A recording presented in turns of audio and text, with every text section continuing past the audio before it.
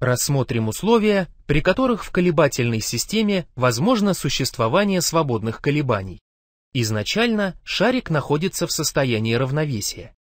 Сместим шарик от положения равновесия.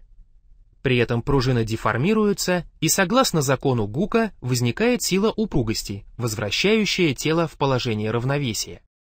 Под действием этой силы тело двигается к положению равновесия. При этом сила упругости уменьшается, скорость тела увеличивается.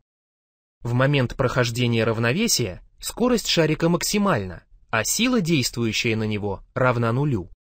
Так как шарик обладает массой, то он не может сразу остановиться и по инерции проскакивает положение равновесия, начиная сжимать пружину.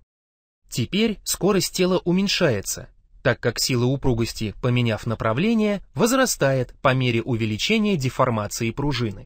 В тот момент, когда скорость становится равной нулю, сила упругости достигает максимального значения, и шарик вновь начинает свое движение к положению равновесия.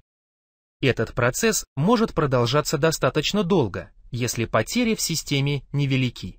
Таким образом, сформулируем условия, при которых возможно колебание в системе. Наличие состояния устойчивого равновесия. Наличие внутренней силы, возвращающей систему в состояние равновесия, упругая или квазиупругая сила. Инертные свойства системы. Малое трение.